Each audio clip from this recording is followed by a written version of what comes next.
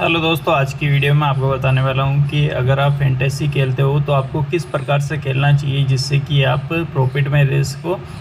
तो सबसे पहले अगर आप मेरे चैनल पर नहीं हो तो चैनल को सब्सक्राइब कर अगर आपने अभी तक मेरे टेलीग्राम चैनल को ज्वाइन नहीं किया तो ज्वाइन कर सकते हो। मैं यहाँ पर बहुत सारे अपडेट देता रहता हूँ। गिवे से रिलेटेड और लीडर बोर्ड से रिलेटेड या फिर कभी कभी मैं आपको फैंटेसी टीम भी आपको प्रोवाइड करवाने की कोशिश करता हूँ। तो आप ज़रूर से टेलीग्राम को ज्वाइन कर लेना। वीडियो शुरू करने से पहले this game involve an element of financial risk and may be addictive please play responsibly at your own risk ये आपको ध्यान में रख के चलना है। अब यहाँ पर मैंने बहुत सारे पॉइंट लिखे हैं। सबसे पहला पॉइंट है, अपने बजट को दस पार्ट में डिवाइड कर लो। और एक पार्ट को एक मैच में ही यूज़ करो और ज़्यादा अच्छा मैच लग रहा है तो आप 25 परसेंट बढ़ा सकते हो, उससे ज़्यादा नहीं। अगर आप लिमिट में नहीं खेलोगे तो ये फैंटेसी आपको बर्बाद करने से कभी पीछे नहीं रहेगी। हर मैच में इन्वेस्टमेंट को फिक्स रखो। अगर आपको लगता है कि मैच ख़राब है तो भी आपको मैच में या तो खेलना ही नहीं है, खेलना है तो आपको जो मिनिमम आपका इन्वेस्टमेंट है, वो तो करना ही है। अब अपन नेक्स्ट देख लेते हैं। यहाँ पर मैंने लिखा है investment strategy play head to head into two मतलब हेड टू हेड यानी दो मेंबर वाली लीग होती है और हेड थ्री एट मतलब तीन मेंबर वाली लीग और आपको एक ग्रैंड लीग उसके साथ में ज्वाइन कर लेनी है।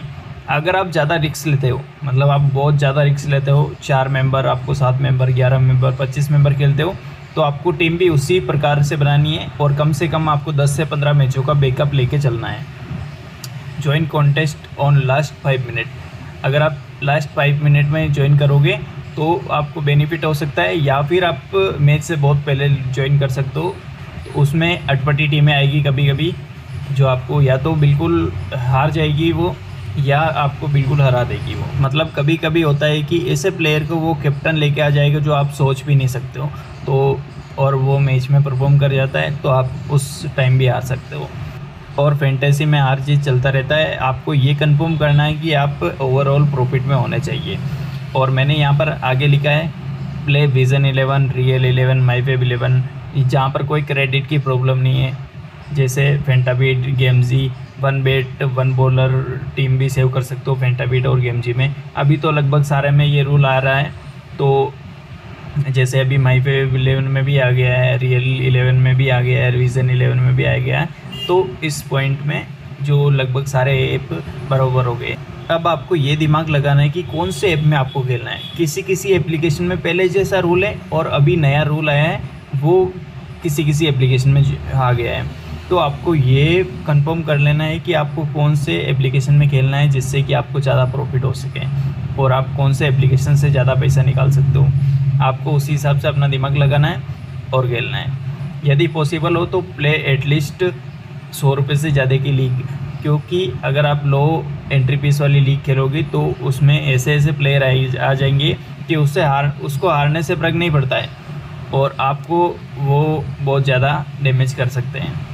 और यहाँ पर मैंने अगला पॉइंट लिखा है प्ले मिनिमम टेन लीग्स अगर आप एक दो लीग खेलोगे और सोचोगे कि आप फैंटेसी में प्रॉफिट में रह जाओगे, ये लोगों की गलत वे में होती है कि आप एक दो लीग खेलोगे और आप जीत जाओगे।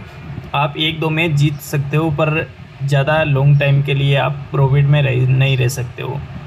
अगर आपको प्रॉफिट में रहना है तो कम से कम आपको दस लीग खेलनी होती है, जिसमें से अगर आपने आपने तीन या चार जीती तो भी आप लगभग overall no loss no profit में रहोगे। अगर आप एक दो लीग ज्वाइन करोगे, अगर आपने दोनों हार गए तो पूरा आपका जो इतना पैसा लगाया आपने, सारा ख़त्म हो जाएगा।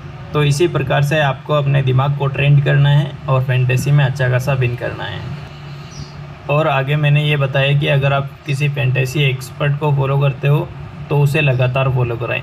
अगर आप उसकी टीम से हार रहे हो, अगर नहीं जीत पा रहे हो तो किसी दूसरे फैंटेसी एक्सपर्ट को देखो और तीन या चार एक्सपर्ट को फॉलो करो। अगर आपको जिसकी टीम अच्छी लगने लगे, आप उसी की टीम को कंटिन्यू कर सकते हो।